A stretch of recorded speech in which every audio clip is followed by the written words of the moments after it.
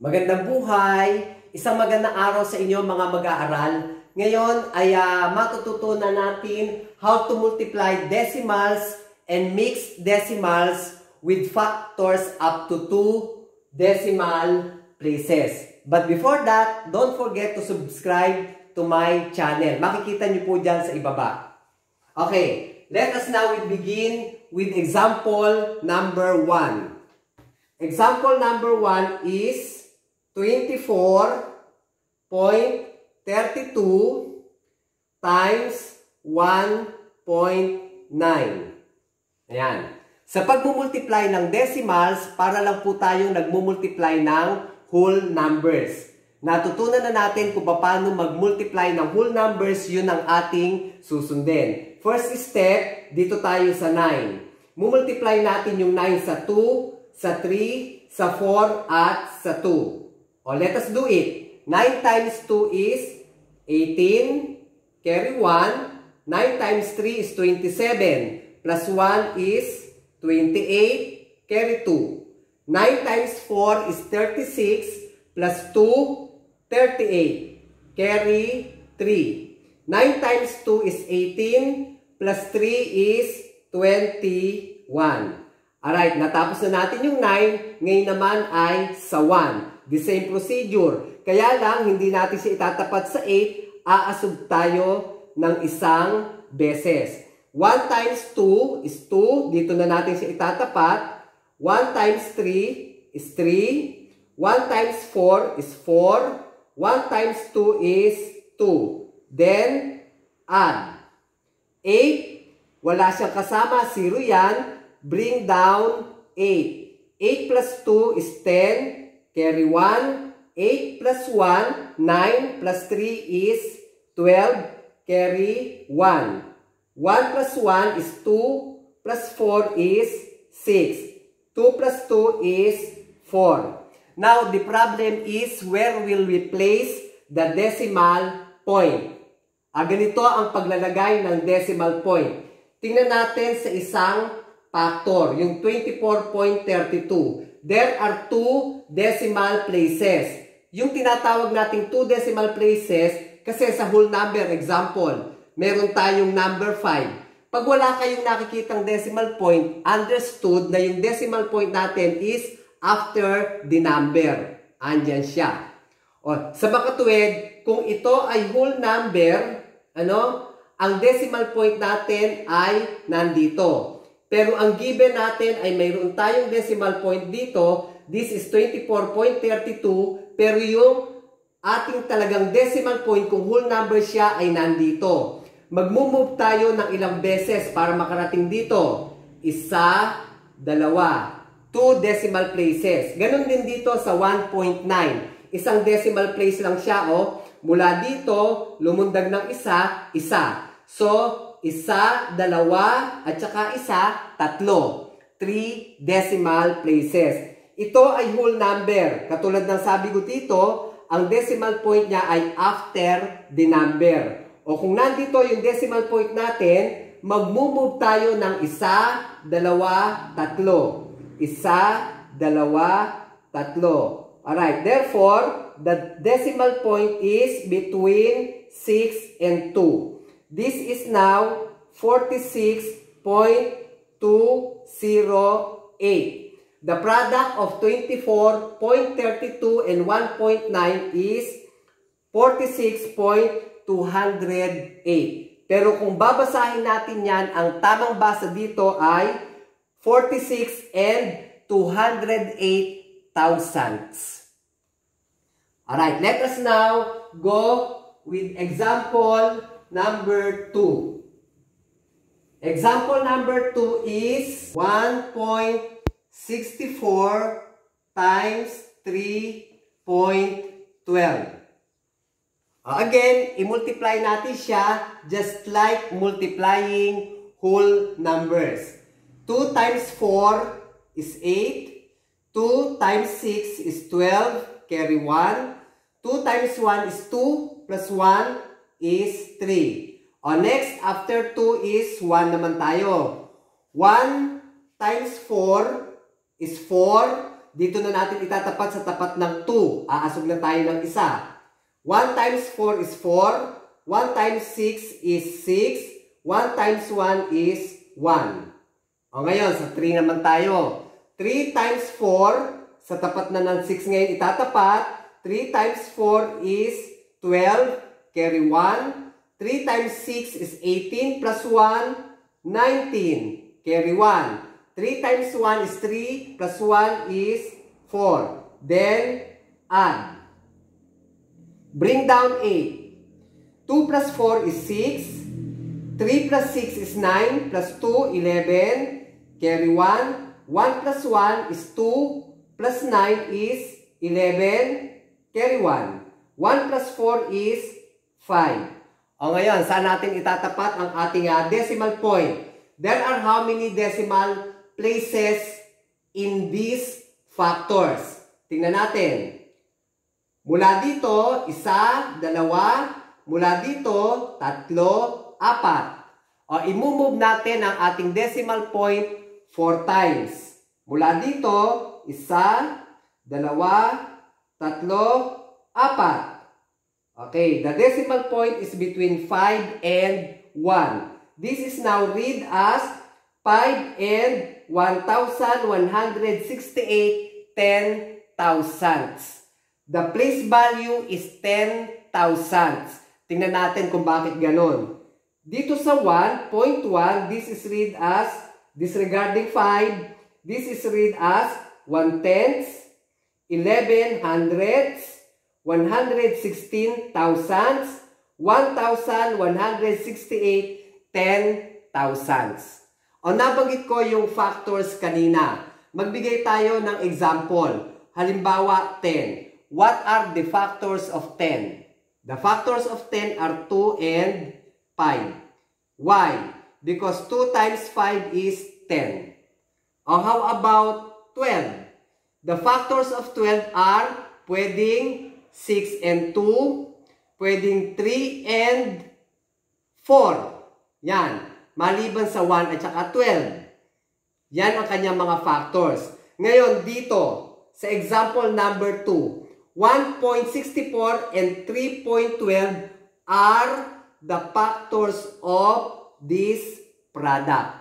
Because when you multiply this, will give us 5 and 1,168 ten thousandths as the product.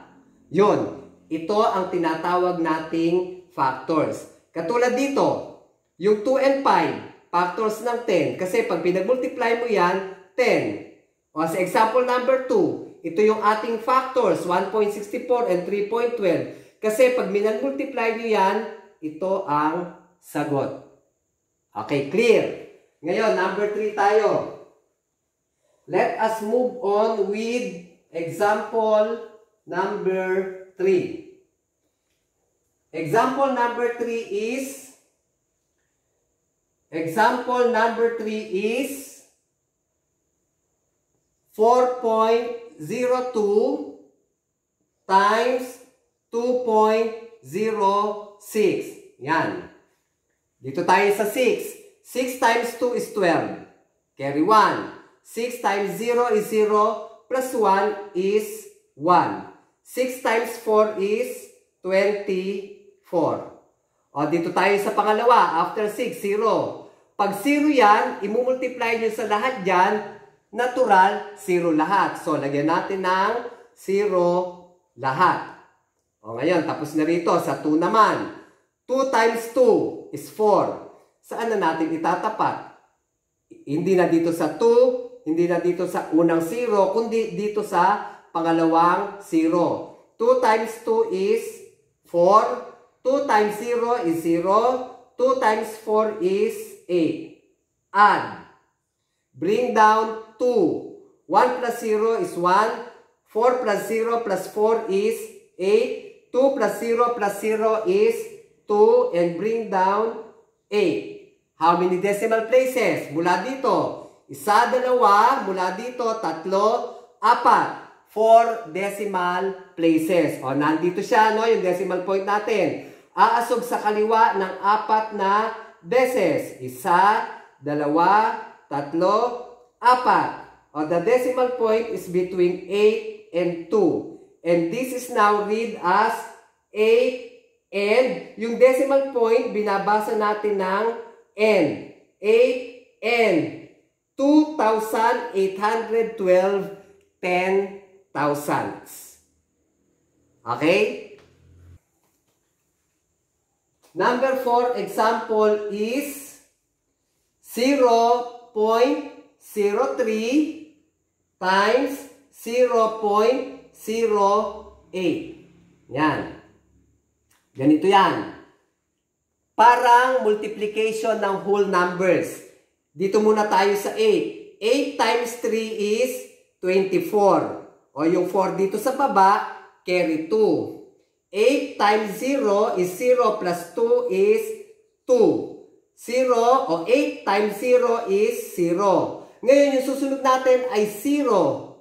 0. So 0 na lahat yan. Ngayon yung susunod natin ay 0 na rin. 0 times 3 is 0. 0 times 0, 0 times 0 is all zeros. O ngayon, ang numero lang natin ay 0, 24. There are how many decimal places? Daan saan natin ilalagay ang decimal point? O, tingnan natin dito. There are how many decimal places in 0.03?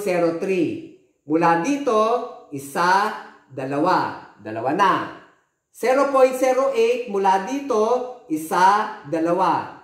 O pangalawang dalawa, apat lahat. Ngayon, ang paglalagay ng decimal point, e tatatlo to, nandito tayo magmumove ang ating decimal point 4 times pakaliwa kasi apat yung ating decimal places lahat. Isa, dalawa, tatlo. O kulang ng isa, ano gagawin natin? Magdagdag tayo ng 0 para maging apat. Ang place value nito ay itong 0 nauna, tens, pangalawa, hundreds, pangatlo, thousands, at yung pang-apat, ten thousands. Therefore, this is read as 24 ten thousands. Yan. O ngayon, kayo naman ang gagawa. Exercises. Word problem. Basahin ko muna yung problem, ano? In a local market, one apple costs 20 pesos and 25 centavos. How much will 4 dozens of apples cost? O sige, gawin nyo at bibigyan ko kayo ng time to uh, solve the word problem. O ngayon, gawin natin. Again, in a local market daw, yung isang mansanas ay nagkakahalaga ng 20 pesos and 25 centavos. Yan. Isang apple yan. Pero gaano ba karami ang kanyang binili? Ang kanyang binili ay 4 dozens. Question. 1 dozen is equal to what? 1 dozen is equal to 12 eh apat na dosena itong binili. So, apat na 12. Di ba? O, apat na 12. Isa, dalawa, tatlo, apat. Kasi yung isang 12, one dozen.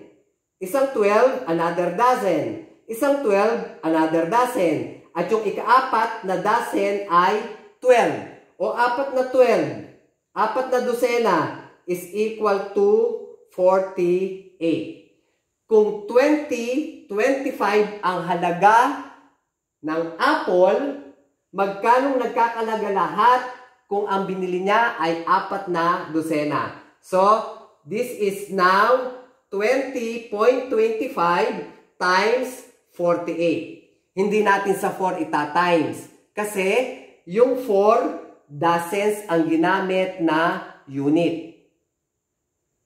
Eh, ang halaga ng isa ay 2025. So, kailangan nating i-multiply sa 48 ang 2025. O, again, multiply this na para siyang whole numbers. Begin. 8 times 5 is 40, carry 4. 8 times 2, 16, plus 4 is 20, carry 2. 8 times 0 is 0, plus 2 is 2. 8 times 2 is 16. O ngayon, tapos na tayo sa 8. Sa 4 naman. 4 times 5, o dito natin itatapat, hindi sa unang 0, sa pangalawa. 4 times 5 is 20, carry 2. 4 times 2 is 8, plus 2, 10, carry 1. O, 4 times 0 is 0, plus 1 is 1, and 4 times 2 is 8. Then, add. Bring down 0. 0 plus 0 is 0. 2 plus 0 is 2. 6 plus 1 is 7, and 8 plus 1 is 9. Ngayon, saan natin ilalagay ang ating decimal point? Dito ba sa 48 meron? Understood, meron siya nandito. Pero hindi natin siya binibilang na isa o dalawang decimal places kasi siya ay whole number. O, dito tayo sa 20 pesos and 25 centavos or 20.25. There are how many decimal places? O, bilangin natin mula dito. Isa, dalawa, dalawa. Dito, wala. So, lahat-lahat, ang decimal places niya ay dalawa. Lalagay natin ang 2 decimal places dito sa ating sagot para malaman natin kung magkano ang halaga ng apples na 48 piraso. O, 2 decimal places. Mula dito, isa, dalawa. Ulitin natin, ano, mula dito, isa, dalawa, Therefore, ang decimal point natin ay nasa pagitan ng 2 at 0. Ngayon, pera ang pinag-uusapan natin, lagyan natin ng peso sign. Therefore, the amount of 48 pieces of apples of which 20 pesos and 25 centavos per piece. The answer is 972 pesos. Ayan. O siguro ngayon maliwanag na kung paano mag-multiply ng decimals at mixed decimals with factors up to 2 decimal places. Yan. Muli po, maraming salamat sa pakikinig at sana ay uh, natutunan nyo lahat ang ating pinag-aralan ngayong araw. Muli po, isang magandang araw sa inyong lahat and don't forget to subscribe to my channel. Makikita nyo po below. Bye bye